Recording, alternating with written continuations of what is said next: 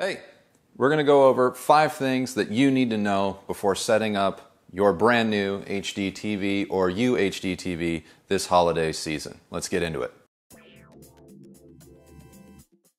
You just bought a brand new big screen flat panel TV. I don't care if you bought an LCD, an OLED, LED, backlit LCD. It doesn't matter because these five tips are universal and they're to help you out no matter what size TV you bought or what kind of TV you bought. So let's do it. Number one, number one most important thing that you can do to help yourself out and the performance of your TV is to mount it properly. And when I say mount it, that also means if you want to set it on top of a table, let's just make sure that we try and get it at the proper height. And basically, all you want to do is kind of find the middle point of the television and make sure that that is at the same height as your eyes when you're seated in your favorite chair. But if you're on the lower third of the television, equal to where your eyes are where you're seated, that's also going to work for you. It's that simple. Whether you set it on a table or you mount it on a wall, that's kind of roughly the height of the display that you're going to want for best performance. Number two, when you plug your TV in and hit power for the first time, some displays will ask you a question Is this going in a home or a retail environment? Whatever you do, never, ever, ever, ever select retail environment. Always select home. Number three, most displays out of the box come in a standard or maybe even vivid or dynamic picture profile. And if your picture profile of the TV you just bought is set to standard, dynamic, vivid, game, anything like that, you're gonna wanna change it immediately. And immediately you're gonna notice a marked improvement in your picture quality.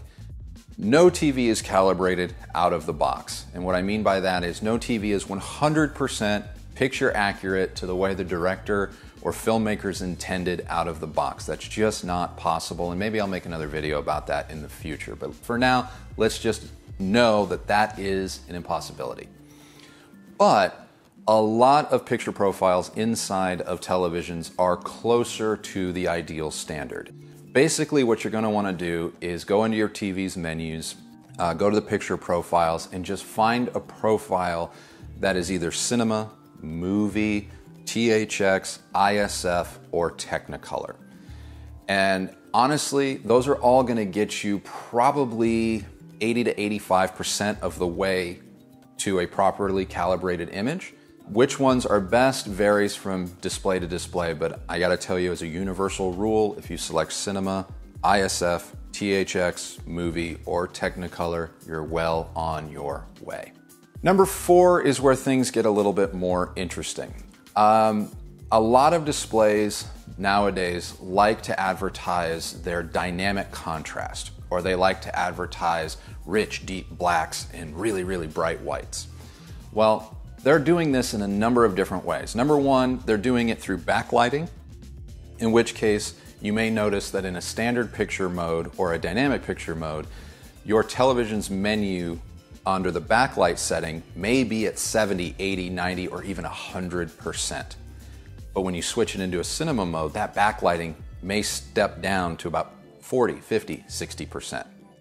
Another way that they do it is through uh, what is known as dynamic contrast or dynamic backlighting or dynamic ambient light sensor, all of these things. Every TV kind of names it differently. And basically, what that is, is it is adjusting the brightness in real time as you watch a film.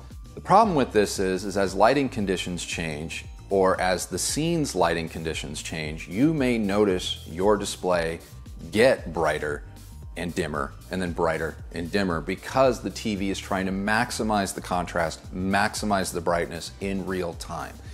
It is my recommendation that you shut these things off or put them in their lowest setting because by default they tend to be on medium to high. And in medium to high, it's noticeable. Whereas if you put it on off or low, I think you're going to have a better experience. And if I were calibrating your TV as a professional calibrator, these are things that I would likely turn off.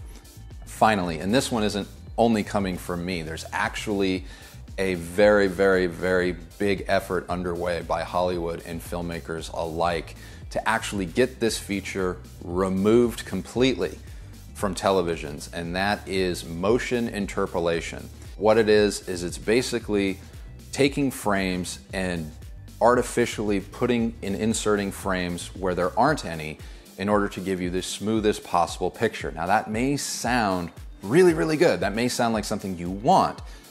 But in reality, what it comes off looking like is a really bad soap opera. And that is why it has been given the name the soap opera effect. So just turn it off. So there you have it. If you have any questions or comments, please do leave them in the comments below. Otherwise, like, subscribe, have a great rest of your day, and uh, we'll catch you on the next episode.